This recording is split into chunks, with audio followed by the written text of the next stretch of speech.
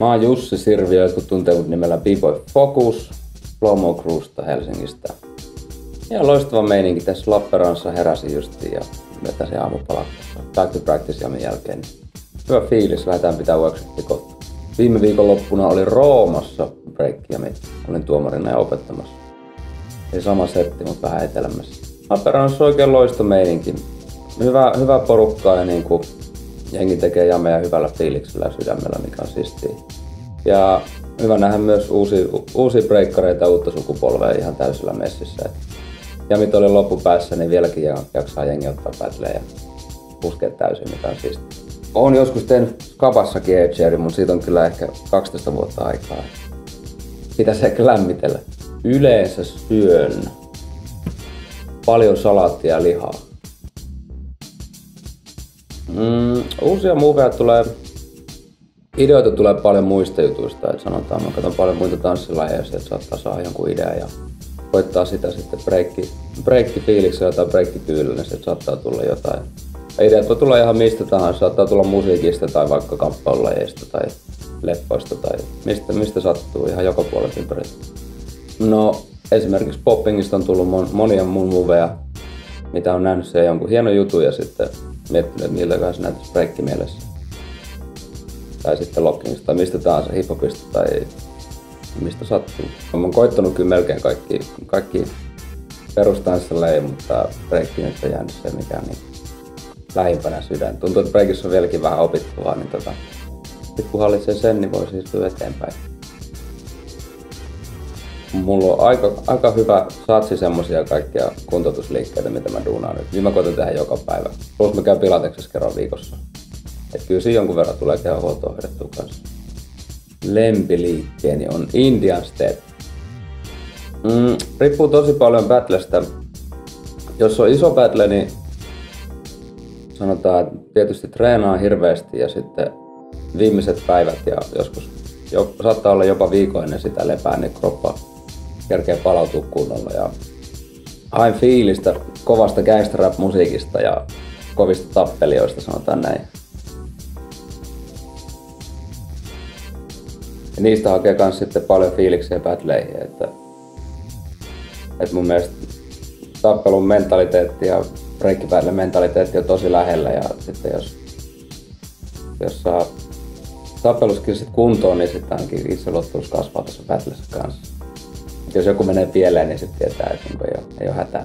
Ja niin kuin, mun yksi kaikkien aikojen lempparista on semmoinen kuin Tyson Dokkari, mikä kertoo tästä Mike Tysonin urasta ja se, siinä selittää paljon, miten se valmistautuu makseihin ja muita. Ja sitä mä katson aina ennen battleja, niin saa kova, kova fiilis.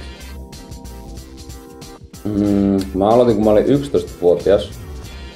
Eli aika nassikka.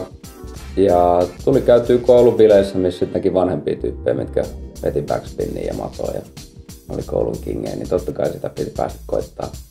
Ja sitten siihen samaan aikaan mun luokalla oli, oli monta tyyppiä, jotka aloitti breikkaan kanssa. Meitä oli muistaakseni 15 jätkää meidän luokalla ja niistä sitten noin 11 breikkasi vaiheessa. Et hirveä breikkipuumi, joka välitunni vedettiin backspiniskavoja siinä käytävässä. Ja mä oon sit ainoa, joka siltä ajalta jäi, mutta sitten kans siitä rupesi siirtymään, siirtymään mä pääsin Algren Mikon kursseille Murmeen ja Jyväskylään ja sitten vanhempia tyyppejä, jotka treenasivat paljon, niin jotka itse vieläkin treenaa osa, niin niiden kanssa sitten niin kuin Jani Salonen ja Juuso Salonen ja Pasi Piippunen muodostettiin megaryhmä Midpoint Rockers 97 ja siitä homma lähti. Kaiden kanssa äärimmäisen rankkoja taisteluja treenejä, tunteja. Kova meininki, hyvä räppi ja kovaa lihaskuntoa ja kovia potkuja. Ehkä just se, että niinku, ehkä ne on tuonut lisää itseluottamusta ne, ne taistelulajit treenit. Ja semmoista niinku, kyllä se, kyllä se on mun perustreenaamista muuttanut kans kaiden treenaaminen tosi paljon monipuolisempaa suuntaan ja just ottaa enemmän asioita huomioon, just miettii ruokavalioa ja, ja kaikkea, kaikkea vastaavaa. Kyllä se on muuttunut paljon. Näkyy breikissä, että niinku, sanotaan, jos se itseluottamus omaan breikkaamiseen on mun mielestä kasvanut näiden treenien kautta tosi paljon. Mä oon kasvanut ihan hyvissä ympäristöissä, ei mulla ole niinku ollut semmoisia ongelmia, että näihin, näihin juttuihin päässyt tästä vasta viimeisen parin vuoden aikana sisällä. Et makea homma, mä oon itse opettanut 10 vuotta nyt suurin piirtein lapsia ja nuoria ja jatkan kyllä sitä ehdottomasti niin kauan kuin vaan mahdollista. Siis saa itsekin tosi paljon. No se on sillä siistiä, että niinku breakin keino on se juttu, mitä itse on mihin hirveästi pistänyt aikaan, niin saattaa sitten olla, että jollekin siitä on hirveästi hyötyä ja saattaa pelastaa jonkun elämän sillä, että rupeaa kanavoimaan energiaa vähän positiivisemmin breikkaamiseen. Uida Saimaalla. No tää, että ehkä kilsaan pääsis, mutta sit vois ehkä tyssätä homma, menis pohjaan tää kaveri. Mun mielestä treenaaminen on monilla kurheilua ihan täysin. Ja siinä ei mun mielestä ole mitään väärää. Et niin mun mielestä breikkarit on ihan hyväkin silleen, että miettii vähän sitä ruokavalioa ja miettii palautumisia ja kehonhuoltoa ja kaikkea mahdollista. Mutta sitten taas taiteilijoita siinä mielessä, että onhan Pekka on tosi luovaa toimintaa ja, ja, ja, ja koko ajan tehdään uutta ja ilmastaa musaa, niin ehdottomasti molemmat. Sanotaan, että melkein joka viikonloppu, semmoinen 30, 40 viikonloppua ehkä viikossa. Pois himasta. Ja, ja, ja.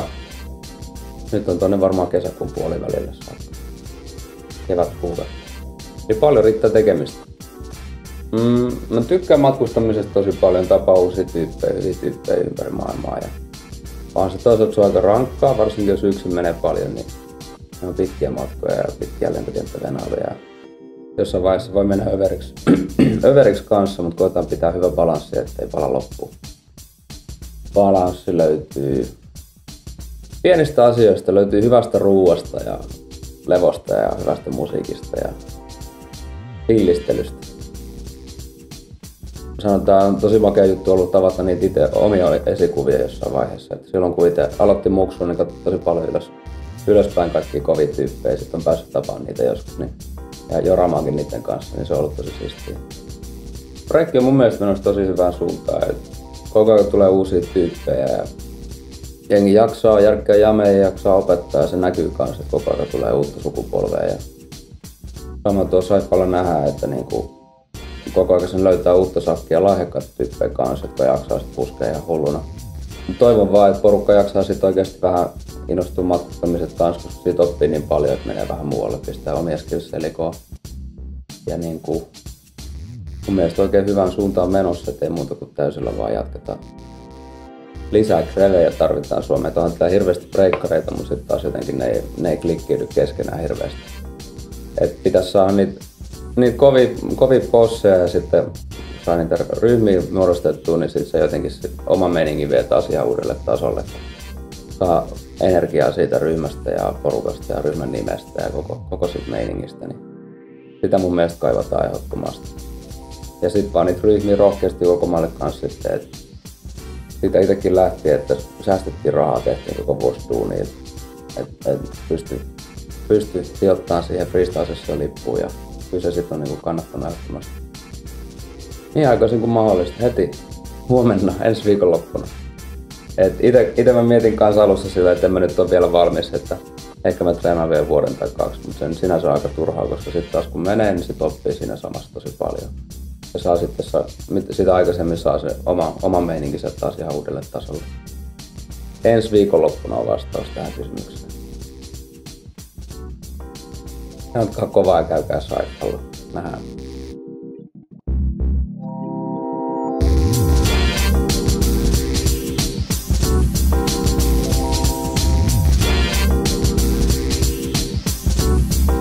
Isot shoutsit ainoastaan HC Meisseli Kreville, koska oli niin kova meininki eilen ja Propsit.